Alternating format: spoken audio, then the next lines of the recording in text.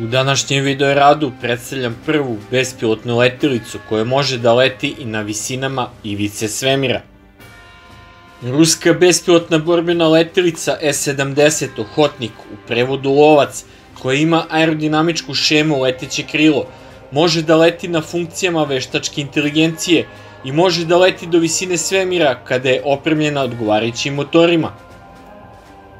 Sjedinje američke države su pokušale da razviju bespilotnu letelicu sa sličnim karakteristikama i performansama, ali su odustale od projekta nakon što njeni inženjeri nisu mogli da prevaziđu tehničke probleme.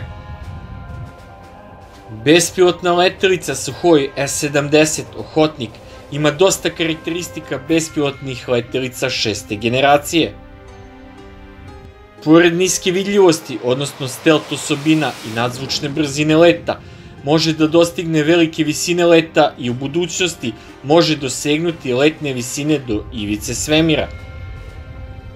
Da bi se postigle takve taktičko-tehničke performanse za ovu bespilotnu letelicu se pravi nov motor poboljšanih karakteristika u odnosu na postojeći motor AL-31F potiska 12 tona u režimu dotnog potiska, preuzetog sa Su-27 ili motora AL-41F potiska 14 tona u režimu dotnog sagorevanja, preuzetog sa borbenog aviona Su-35.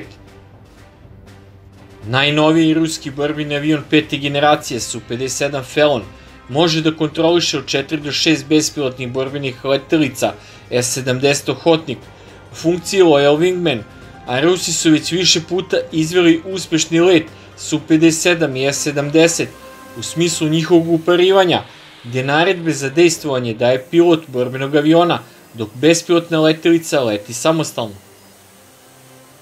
Ovako uparivanje pilotiranih i bespilotnih letelica je u svetu poznato kao MUM-T, odnosno Man and Unmanned Teaming.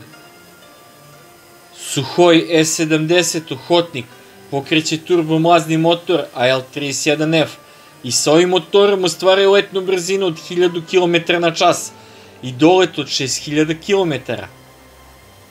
Bespilotna letelica je opremljena elektrooptičkim nišanima, radiovezom i drugim vrstama opreme za izviđanje, navodi Rusko ministarstvo odbrane. Ruski dron S-70 Hotnik je svoj prvi let izveo 7. augusta 2019. godine. S-70 Hotnik je mnogo veći od svojih zapadnih pandana kao što je Boeingov projekat MQ-28 Ghost Bat. Sa rasponom krilo 20 metara i dužinom od 14 metara, masa ruskog drona je oko 20 tona, što je više nego duplo u poređenju sa masom od 4,9 tona evropskog projekta bespilotne letelice klasi Hale, Dassault, Neuron i 6,3 tone američkog projekta Northrop Grumman X-47B.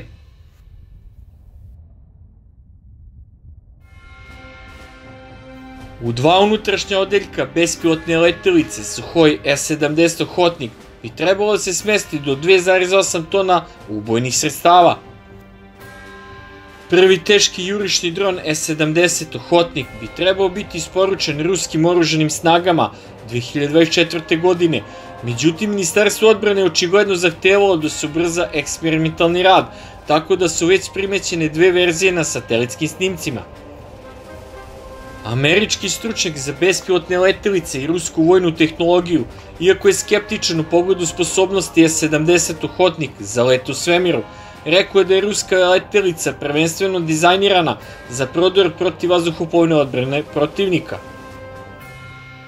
Kako navodi američki stručnjak, tvrdnje o sposobnosti ruskog drona S-70 da može da leti u svemiru, dolazi od ljudi koji nisu direktno uključeni u projekat i stoga se moraju uzeti sa malo opreza. Mnogi od njegovih predloženih funkcija zasnovane su prvenstveno za ulogu prodora protiv vazduhoplovne odbrane protivnika, a ne za strateško izviđačke borbene misije.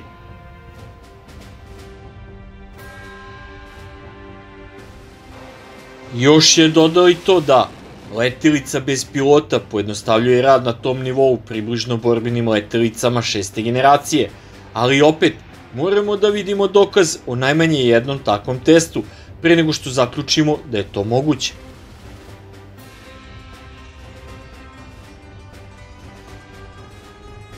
Drugi prototip Suhoja S-70 Ohotnik je dobio ravnu umesto kružne mlaznice iz dva motora, što smanjuje radarski i toplotni odraz letelice.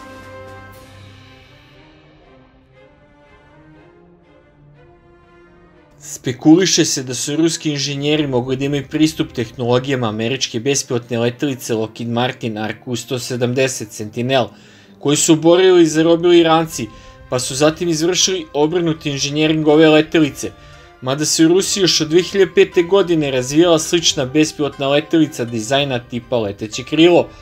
Konstruktor su biroa MIGA pod nazivom SCAT, dok je Ohotnik verovatno samostalni razvoj konstruktorskog biroa Suhoi.